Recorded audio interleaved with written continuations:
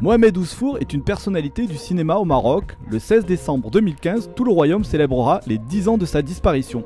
Son film, Le Fils maudit, réalisé avec les moyens du bord, a marqué le démarrage du mouvement cinématographique marocain. Mustapha Mounir, acteur et comédien de théâtre en compagnie du journaliste critique de cinéma Ahmed Sijili Merci, revient sur une anecdote lors de sa collaboration avec le réalisateur Mohamed Ousfour, qui rencontra sa femme allemande sur un plateau de tournage.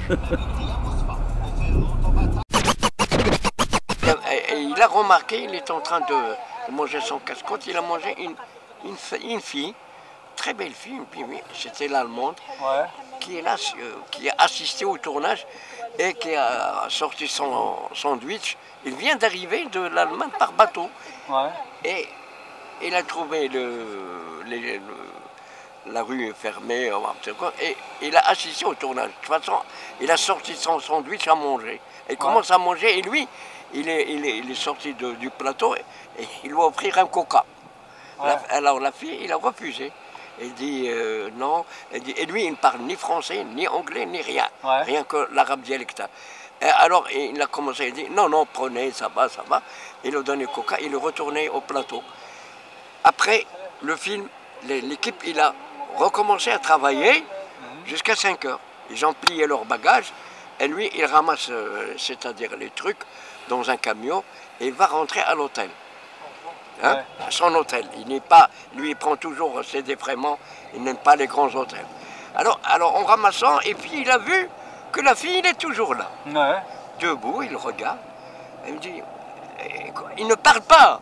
Eh, eh, il ne parle pas ni français ni anglais. Elle, elle parle peu français. Et lui, il comprend, mais il ne parle pas. Et, il me dit, mais vous allez rester ici? Comment? Vous allez, lui dit, euh, voilà. Elle nous montre, elle lui donne un papier, l'adresse, l'adresse d'un hôtel qu'elle va, euh, quand elle a quitté l'Allemagne, ses parents, ils lui donnent une adresse d'un un petit hôtel qui existe sur l'avenue, là où on est passé. Mhm. Alors lui, il, ne sait pas lire. Il dit, mais excusez-moi.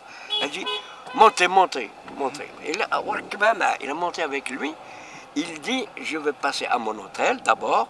Hein, je laisse la voiture devant l'hôtel, et après on va demander à quelqu'un qui lit où est-ce qu'il se trouve cette adresse.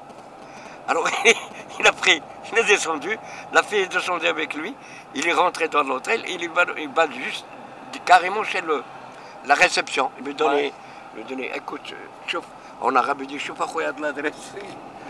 Le réception lui dit, mais c'est chez moi, c'est l'hôtel oh, de Paris. Et tu vois quelle coïncidence. Ah la fille, elle est de l'Allemagne, elle est venue chercher le petit hôtel où ses parents, quand ils viennent manger. C'est l'hôtel de... Et oui, j'ai écouté, c'est ici. Oh, L'Allemagne, il l'a embrassé. Alors, c'est là que commence le coup de et, et il est resté avec lui jusqu'à fin de tournage. Il, elle est rentrée avec lui à Casablanca. Il était, il célibataire, bien sûr, avec sa grand-mère. Il habite dans une baraque et il avait un garage d'hôtel. Euh, elle a accepté de rester avec sa grande-maman, je crois trois jours. Il est parti à Marrakech. Après Marrakech, il est revenu le voir et lui dit que je prépare un autre tournage. Si tu viens, il me dit non, j'ai terminé mes, euh, mes vacances, il faut que je rentre en Allemagne. Et rentrer en Allemagne, Trois mois après, ils se sont mariés. Ah, Et cette femme, elle, vit encore, elle a 89, 89 ans.